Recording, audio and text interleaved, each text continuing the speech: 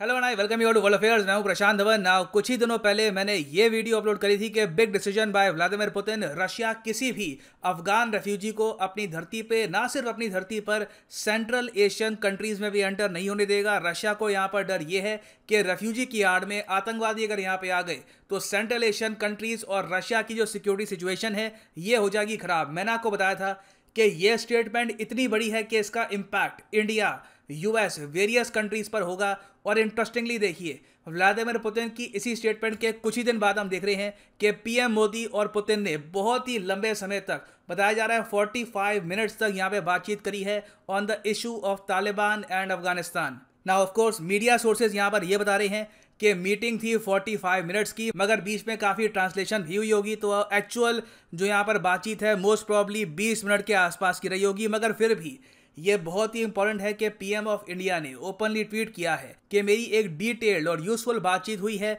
with my friend president Putin of Russia on the recent developments in Afghanistan तो discuss करते हैं कि ये बातचीत भारत के लिए इंपॉर्टेंट क्या है इंडिया क्या एक्सपेक्ट करता है रशिया से, और भारत और रूस दोनों के जो सबसे बड़े कंसर्न है रिगार्डिंग अफ़गानिस्तान ये क्या है? मगर, आगे बढ़ने से पहले आपसे क्वेश्चन पूछूँगा। क्वेश्चन आपके लिए यहाँ पर यह है कि आज के समय रशिया होस्ट कर रहा है इंटरनेशनल आर्मी गेम्स 2021 आपको सिंपली यहाँ पर यह बताना है कि इंटरनेशनल आर्मी गेम्स 2021 में से इनमें से कौन सा देश पार्टिसिपेशन नहीं कर रहा?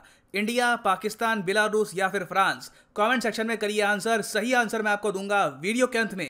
ना व्लादिमीर पुतिन और पीएम मोदी के बीच में जो बातचीत हुई है, इसमें जो क्रक्स था, जो मेन इशू यहाँ पर डिस्कस किया गया, वो पंचीर वैली नहीं था, वो अमरुल्ला साले नहीं था। नॉर्दर्न अलायंस की कोई अभी तक बात भी नहीं कर रहा भारत और रशिया के बीच में। यहाँ पर मेन फोकस था आतंकवाद और नारकोटिक्स किस तरीके से जो ड्रग्स की सप्लाई अफ़गानिस्तान से बढ़ने वाली है, उसको हम कैसे रोकेंगे, कैसे हम अपनी जो जनरेशन है, जो यंग जनरेशन है, उसको ड्रग्स से हम बचा सकते हैं। ऑलरेडी मैंने इस पर एक वीडियो बनाई थी कि तालिबान ने हालाँकि प्रॉमिस तो किया है कि अब ये हेरोइन बेचना बंद कर देंगे। नहीं तो आप अगर देखो हिस्टोरिकली तालिबान का जो मेन बिज़नेस है, वो रहा है ओपीएम बेचना हेरोइन बेचना वेरियस टाइप के जो ये ड्रग्स हैं, ये जो नशीले पदार्थ, ये बेचना यूरोप में, अफ्रीका में, इंडिया में। मगर तालिबान अब जब पावर में आ चुका है, काबुल कब्जा चुका है, इन्होंने बोला तो है कि हम अब ये सब नहीं बेचेंगे। मगर क्या ये बेचे बिना सरवाइव कर सकते हैं? तो इसका आंसर बहुत सारे जियो एक्सपर्ट्स और ड्रग ट्रैफिकिंग के जो एक्सपर्ट्स हैं, वो कह रहे हैं कि बिल्कुल नहीं। अफ़गानिस्तान से ड्रग्स और ज़्यादा प्रोड्यूस होंगे और ये ड्रग्स भारत में भी आ सकते हैं सेंट्रल एशिया के थ्रू रशिया में भी आ सकते हैं।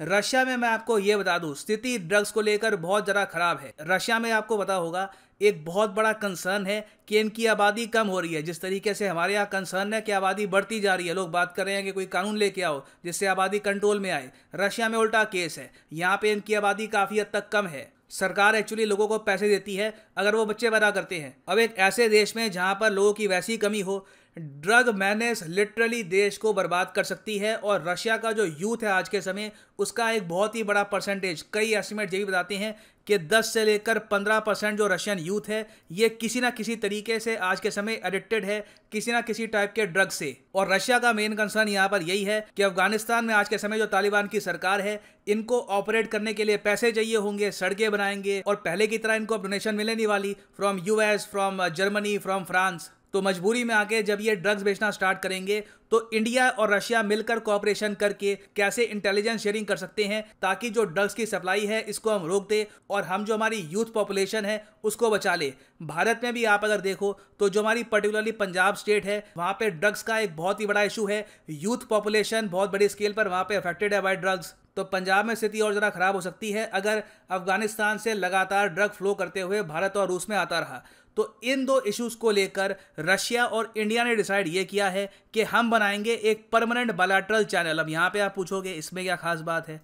देखो कंट्रीज़ ऑपरेट करती है सिस्टम पर। कोई भी चीज़ रैंडमली डिस्कस नहीं होती। यहाँ पर क्या हुआ है कि रशिया और इंडिया ने डिसाइड ये किया है कि हमारे विदेश मंत्रालय में कुछ लोगों को काम पे लगा देंगे कि आपस में कॉपरेशन करो और इन्फॉर्मेशन शेयरिंग करो ताकि कल को कोई भी आतंकवादी हमला ना भारत में हो, ना रशिया में हो और ड्रग्स की सप्लाई भी हम प्रॉपरली रोक पाए। और ऐसा नहीं है कि भारत और रूस ये सब पहली बार कर रहे हैं। इससे पहले आप अगर जाओ 20 साल पहले, सन 2001 सन 2002 के आसपास, उस वक्त भारत और रशिया ने एक ज्वाइंट वर्किंग ग्रुप बना दिया था on the issue of Afghanistan इसके डॉक्यूमेंट्स आज भी आपको रशियन गवर्नमेंट की वेबसाइट पे मिल जाएँगे। सो so, यहाँ पे आप देख सकते हैं ये है Moscow declaration between India and Russia historic document है। सन 2001 में भारत और रूस ने इसको साइन किया था। इसके अंडर दोनों देशों ने यह डिसाइड किया कि इंटरनेशनल टेररिज्म को हम मिलकर रोकेंगे। ऑन इंटरनेशनल टेररिज्म और यहाँ पे आप अगर देखोगे अफ़गानिस्तान के बारे में मेंशन किया गया। यहाँ पे लिखा है, इंडिया और Russian federation are closely following the development of the situation in and around Afghanistan and emphasise the necessity to avoid spilling over of conflict beyond the boundaries to prevent further extension of terrorism. और बताया जाता है कि उस time Atal Bihari Vajpayee ji का ये master stroke था। भारत में कई आतंकवादी हमले इस तरीके से रोके गए थे। रशियन इंटेलिजेंस एजेंसीज इंडिया की रॉ ने मिलकर काम किया और काफ़ी बार जो तालिबान के आतंकवादी भारत में अटैक कर सकते थे, उनको इसी तरीके से रोका गया था। और भारत के लिए रूस का यहाँ पर कॉपरेशन बहुत ही इंपॉर्टेंट इसलिए भी है क्योंकि पाकिस्तान और चाइना ने इंडिया को बाहर कर दिया था त्रायोका प्लस मीटिंग से। यहाँ पे आपको पता होगा ये मीटिंग हाल ही में हुई थी और यहाँ पे अफ़गानिस्तान का इशू डिस्कस किया गया, मगर इंडिया की एंट्री को पाकिस्तान और चाइना ने ब्लॉक कर दिया था। रशिया यहाँ पर चाहता था कि भारत एक बार को पार्टिसिपेशन करे ताकि अफ़गानिस्तान में जो भी चल रहा है, जो भी तालिबान का इशू है, वहाँ पे भारत भी अपने इनपुट्स दे पाए। मगर आज के समय चाहे भारत त्रायोका प्लस का पार्ट ना हो, रशिया से बातचीत करके हम अपना जो इन्फ्लुएंस है अफ़गानिस्तान में, ये बढ़ा भी सकते हैं। फिर फाइनली देखो, यहाँ पर इशू आता है तालिबान की सरकार को रिकॉग्नाइज करने का।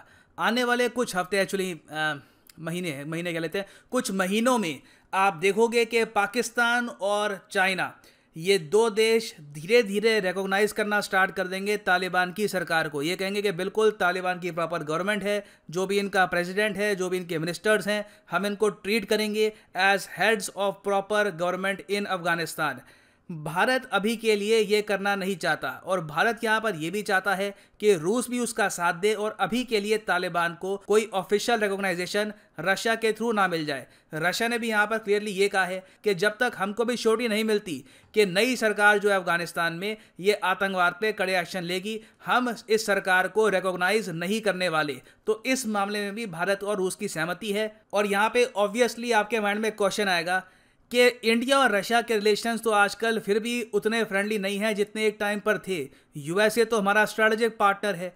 जो बाइडन का ऐसे कॉल क्यों नहीं आया? देखिए, यहीं पर कमज़ोरी आती है जो बाइडन की।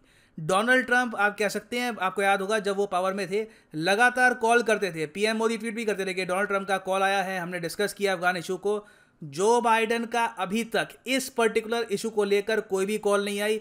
एक्चुअली जो बाइडन का आप अगर पूरा ट्रेंड देखोगे ना, वो चाहते हैं कि जल्द से जल्द जो ये बुरा सपना है अफ़गानिस्तान के नाम का, ये ख़त्म हो, मैं इससे दूर हो जाऊँ, कोई मुझसे सवाल ना पूछे अफ़गानिस्तान के बारे में, तालिबान के बारे में, और पूरा फोकस हो हमारा चाइना इंडो पैसिफिक पर। तो इसलिए यूएस की तरफ़ से ज़्यादा कुछ बातचीत हो नहीं रही इस पर। रशिया ही हमारा, मैं कहूँगा, सबसे इंपॉर्टेंट पार्टनर है रिगार्डिंग तालिबान अफ़गानिस्तान इशू ना वापस आते हैं अपने क्वेश्चन पे, जो मैंने आपसे पूछा था इंटरनेशनल आर्मी गेम्स ऑफ़ 2021 ये होस्ट कर रहा है रशिया। हालाँकि कई और कंट्रीज़ भी होस्ट कर रही हैं फॉर एग्जांपल वियतनाम और आ, कई और देश भी हैं मगर प्राइमरली इसको होस्ट कर रहा है रशिया। तो इन इंटरनेशनल आर्मी गेम्स में इन कंट्रीज़ में से कौन सा देश पार्टिसिपेशन नहीं कर रहा? तो सही उत्तर यहाँ पे ऑप्शन ए है। फ्रांस यहाँ पे पार्टिसिपेशन नहीं कर रहा क्योंकि ये गेम्स रशिया आप कह सकते हैं स्पॉन्सर करता है प्रमोट करता है। तो यूएसए जर्मनी फ्रांस हमेशा इन गेम से रहते हैं कोसो दूर। इंटरेस्टिंग बात यह है कि इस साल पहली बार सऊदी अरेबिया पार्टिसिपेट करेगा इंटरनेशनल आर्मी गेम्स में। भारत और पाकिस्तान और चाइना भी यहाँ पर पार्टिसिपेशन कर रहे हैं। और फाइनली यहाँ पे मैं ये भी ऐड कर दूँ कि अन अकाडमी का यूपीएससी कॉम्बो पैकेज अवेलेबल है। सिंपली यहाँ पे जाओ कमेंट सेक्शन में क्लिक करो, यहाँ पर इस लिंक पे और यहाँ पे आप परचेज कर सकते हैं ये यूनिक कॉम्बो पैक जिसके अंडर आप यूपीएससी प्रीलिम्स मेंस ऑप्शनल तीनों की ही तैयारी आप यहाँ पे कर पाएँगे। बहुत से स्टूडेंट्स हैं जो आज के समय यही कॉम्बो पैक परचेज कर रहे हैं, क्योंकि आप अगर ये कोर्सेज अलग अलग परचेज करोगे तो आपको टेन से फिफ्टीन थाउज़ेंड रुपीज़ एक्स्ट्रा पे करने होंगे। तो कॉम्बो पैक में वैसे ही आपकी सेविंग हो गई। उसके ऊपर आपको मिलेगा एडिशनल डिस्काउंट अगर आप यूज़ करते हैं, यहाँ पर promo code P D ten the prices will fall even more so use the promo code P D ten and save your hard earn money so इसी नोट के साथ, ये है यहाँ पर वीडियो कांत Thank you for listening, and as always, God bless you all.